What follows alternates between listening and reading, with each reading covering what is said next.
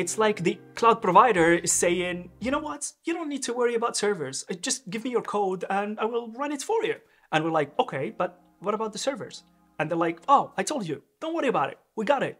And we're like, what about the network? What about the power? What about the cooling, the security, the patches, the updates, the backups, the scaling, the monitoring, the login, the auditing, the compliance, the privacy, the performance, the cut? You get the point. In the beginning, cloud computing was all about storing files somewhere other than your messy hardware drives. You know, Dropbox was probably the first cloud service you ever used and it was a game changer. But what began as a way to store data and access computing power has become the backbone supporting our increasingly digital existence. And this evolution signifies more than just technological progress.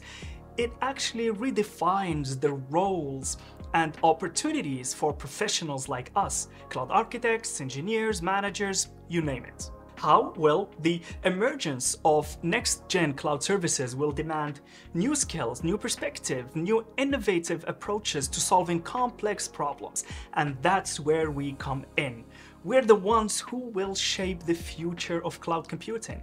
And it's time to get ahead of the curve. Because we're not just looking at incremental changes here. We're anticipating a decade brimming with unprecedented cloud innovation. We're talking a world where your coffee machine not only brews an epic dark roast, but also fixes its own glitches before you even roll out of bed. We're talking about a world where your car not only drives itself, but also predicts your next destination based on your calendar. And we're talking about a world where your cloud infrastructure not only stores your data, but also predicts your needs and adapts to your usage patterns in real time. So grab your virtual umbrellas because we're setting the stage for what's coming up in the cloudy realm between 2024 and 2034.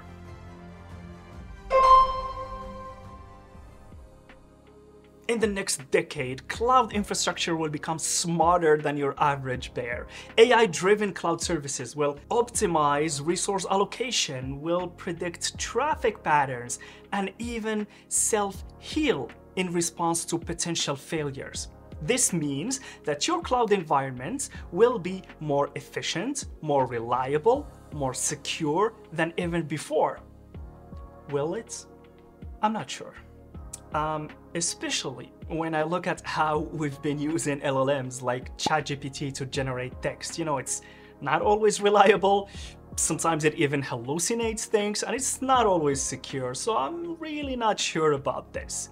We'll almost probably. What I think is we'll almost probably see a shift from declarative to intent-based provisioning. For example, instead of specifying the exact number of servers and their configurations, you'll simply tell your cloud environments your intention what you want to achieve. You'd say, hey, I want an e-commerce stack capable of handling X amount of transactions per second. You know, you just give your intention and it will figure out the best way to make it happen based on, well, based on your requirements, based on the current state of the cloud, and based on countless similar deployments and their outcomes. So, what does this mean for us, self-proclaimed maestros of the cloud? Well, it means a few things actually. You know, first thing is we need to level up our understanding of AI and machine learning. The same way we had to add containers to our or, or serverless to our skill set, right? We need to become familiar with AI concepts, with AI tools. And second, we'll need to adapt and start to think more in terms of outcomes and less in terms of specific configurations. Here's what I'm personally doing. I am going to be putting more effort than before on focusing on the business outcomes of the solution I design rather than just the technical details. I'm also interested in learning more about AI and machine learning limitations and how to work around them. So if you have any tips or resources, please share them in the comments. I really appreciate it. AI-driven cloud services will also revolutionize the way we build, the way we manage our applications. You know, we will most certainly see a surge in AI-enhanced cloud services that can automate tasks, you know, uh, that can optimize performance and even, even, even predict your user's behavior. Take healthcare, for instance. The adoption of AI-powered cloud services is transforming patient care and research. I want you to imagine a world where predictive analytics can assess health risks in real time and offer personalized treatment plans by analyzing massive datasets instantaneously. Instant. Why do I always pick tough words? so this isn't just hypothetical, you know?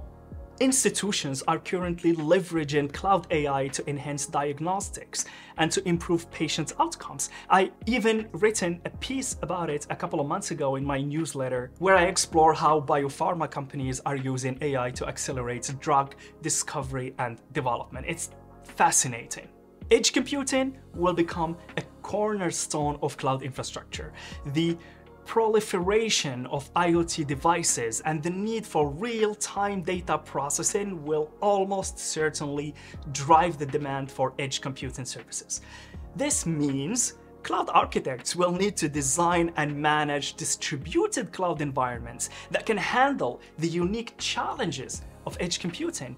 We're talking intermittent connectivity. We're talking limited resources. This is a whole new ballgame, and it's going to be exciting to see how it unfolds. Why? Because the internet, when it was designed, it was not designed for this.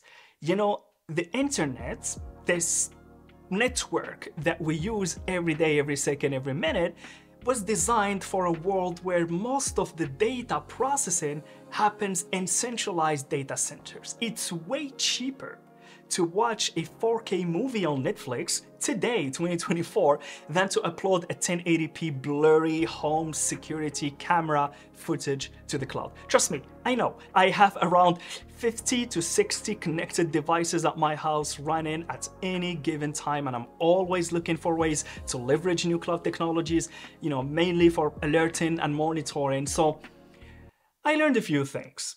Um, in 2024, storage is dirt cheap. It's the cheapest services ever, it's storage. Compute is a commodity. There's a ton of it. There's serverless, there's VMs, there's containers, but data transfer, oh boy, that's where they get you. Ironically, that's why we need edge computing, you know, because it's not just about speed, it's about efficiency, but it's also about cost. As we're moving towards a world where data processing happens at the edge, closer to where it is generated, you know, like in stores or in delivery vehicles, we are witnessing unprecedented efficiency, unprecedented improvements. For example, retailers will be using edge computing to manage inventory through real-time tracking systems that adjust automatically based on purchasing trends analyzed at the source. Every store in the world have cameras. These cameras will be able to pass that footage to an internal I don't know, machine learning model and then give recommendations on where to move items on shelves, you know, in real time. But this will require a fundamental shift in how we design, how we manage cloud infrastructure. Will the edge be part of the cloud? I don't know. It's it's it's going to be a wild ride. Uh, but if you want to learn more about how to architect for edge computing, or I should say how to start architecting for edge computing, I have a couple of videos on the channel that you might find interesting. So just click here on the pop-up banner to watch them. I think the multi-cloud approach will become the norm. And here we thought that 200 plus AWS services were a lot to keep up with. Brace yourselves, my friends, because we're about to see a world where cloud architects will need to design and manage applications that span across multiple cloud providers. This means that we'll need to become experts in multi-cloud integration and interoperability. Interoperability. I need to change these words. Just my accent, just my accent. Uh, we'll need to understand how to leverage the unique capabilities of each cloud provider and design applications that can seamlessly operate across different cloud environments. But the thing is, I don't think we will be left alone in this. You know, cloud providers are already investing heavily in tools and services that facilitate multi-cloud integration. You have AWS, for example, that's been uh, offering AWS Outpost, which allows you to run AWS infrastructure on premises. Azure also has its own flavor of this. Uh, I think it's called Azure Arc, which, you know, basically extends Azure's management and security to any infrastructure.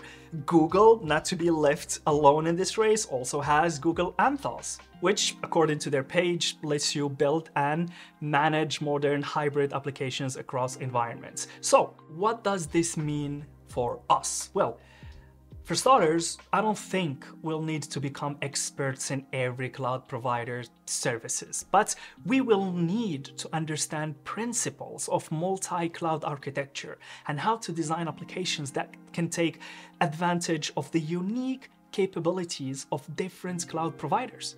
I'm personally very excited about this because it means that we'll have more flexibility, we will have more freedom to choose the best services for our applications. Remember, with great powers come great responsibility. I mean, multi-region, multi-cloud, multi-everything, it's gonna be a multi-mess if we don't get it right. You see, one way we solve problems in computer science is just by adding another layer of abstraction. And serverless is the epitome of that. It's like the cloud provider is saying, you know what, you don't need to worry about servers. Just give me your code and I will run it for you. And we're like, okay, but what about the servers? And they're like, oh, I told you, don't worry about it, we got it. And we're like, okay, what about the operating system? And they're like, oh, don't worry about it, you know, we got it. And we're like, okay, what about the network? What about the power? What about the cooling, the security, the patches, the updates, the backups, the scaling, the monitoring, the login, the auditing, the compliance, the privacy, the performance, the cup?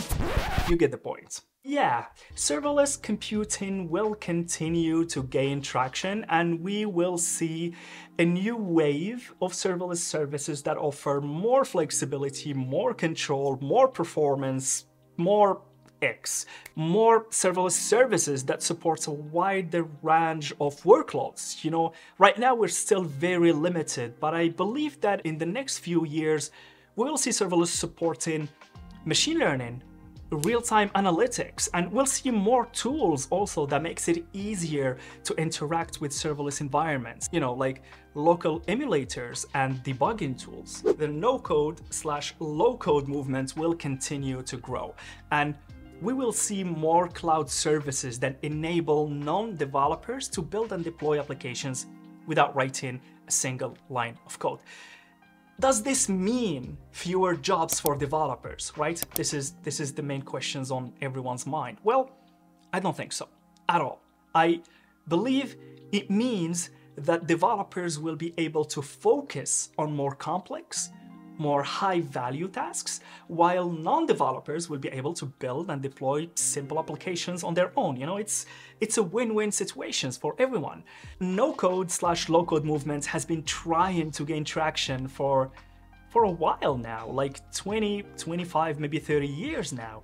And it's been a bit of a hit and miss. But I think the time is now. You know, how we've been trying to build a text-to-speech system that works since, since the 50s. It's mind-boggling that we actually walked on the moon, if you believe we did, um, before we got a text-to-speech that works. But all we had was heavily accented robotic voices. And then we, you know, neural networks came along and now every cloud provider and their neighbor has a text-to-speech service that sounds just like a human. I think it's the same thing with no-code, low-code. We finally have the right tools and the right infrastructure to catch up with the vision. So is that all? Well, Obviously, no. Mm, Quantum computing as a service will be a thing.